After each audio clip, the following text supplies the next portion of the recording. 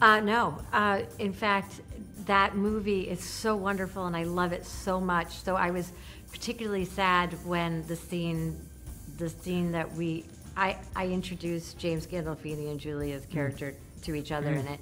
And we were doing this big party shot and apparently we didn't get enough coverage correctly. And so mm, the scene didn't edit together properly, and so it got really, really cut down. And and this is why Nicole Holofcener is a hero. I love her. I'm a huge fan of all her movies. This has never happened with a director. She wrote me like an epic email about why the scene was not as written and why it was just going to be a short thing in the final final and that she had tried every which way from Sunday to hmm. get it edited and she said I'm gonna, I'm, we're gonna work together again. And you're always like, first of all, nobody writes that email. Directors don't write that email mm-hmm. when you get cut down. Secondly, they nobody makes good on it, and she made so good on it with this movie. And so, to answer your question about Julia and the sister relationship, we are both. She's an older sister. I'm a younger sister.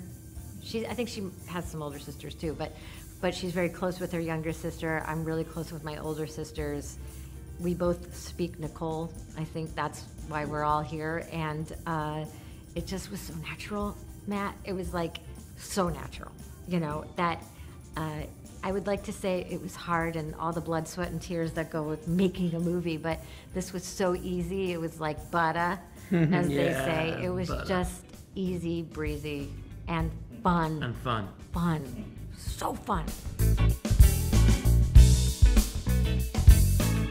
I do think they have a healthy relationship. I've said this before. I think Michaela's character is the most put together of the four people.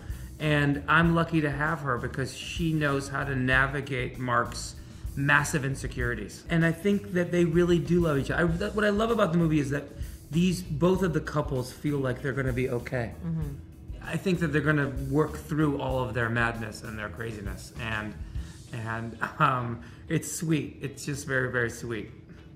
Yeah, like like you said, I don't think it's melodramatic. I think it's so real, so real, and and that it touches on something where the the betrayal is so awful because of the love that's there, not because of the love that isn't there, and that's a really fascinating way to come at a couple because in a weird way, it's almost more devastating, right?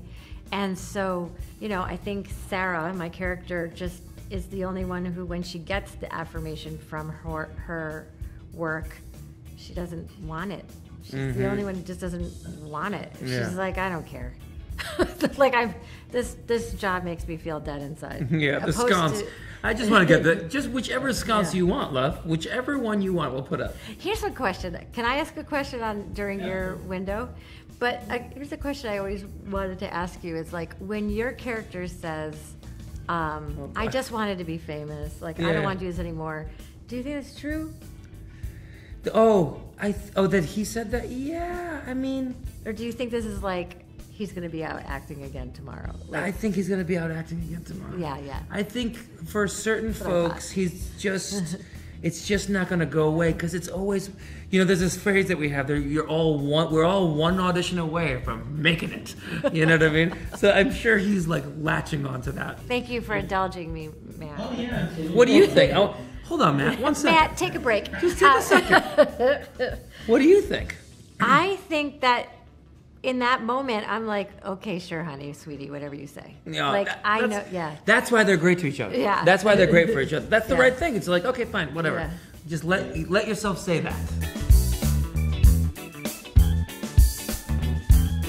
What do you think? I mean, where does one begin? Um, ye- I mean, I don't know about more or less, but I will say we are dealing. Most of our job is a game of trying to deal with our insecurities and putting our insecurities out on blast in some sort of way to like really get some to some like cool little art. So, no, I think um, I think it's in the DNA.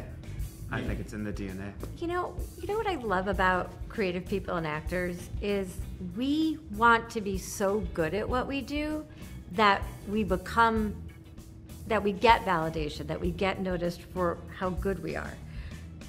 I think about like politicians, right now, especially in 2023. And I feel like there's this thing to be like famous, and it doesn't matter how good you are. The goal is to get noticed and, you know, grab headlines and to be famous despite not being necessarily a good good at like passing policy. You know mm-hmm, what I mean? Mm-hmm, do you know what I mm-hmm. mean? That that it's that it's not about being good at your job. It's, and it's a funny thing that has flipped.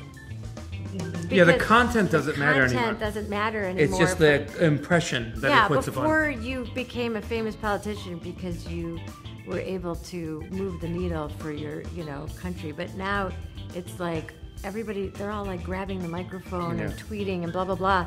Whereas I feel like people who do what we do are just want to be so good at it and be noticed for that. Maybe I'm summarizing way too much, but I don't know. I just, Yeah, Mark wanted more than just to be famous. Yeah, he wants to be good. yeah, Poor he didn't want to be famous for the Yeah. pumpkin movie. The pumpkin movie. Yeah. The pumpkin movie. It c- could have been a hit. Could have been a hit. I don't know.